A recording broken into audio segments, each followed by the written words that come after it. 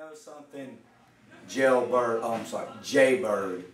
You brought your trailer park queen and you hit me with a move. You wrapped a chain around your hand. You hit me with the jailbird rock. Okay, fine. You cheated.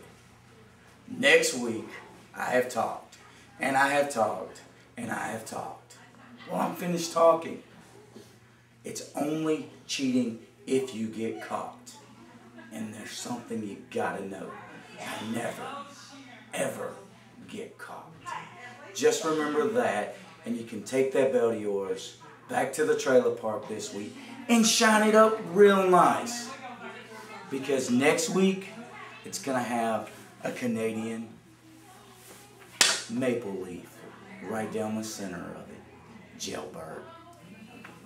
Thank you.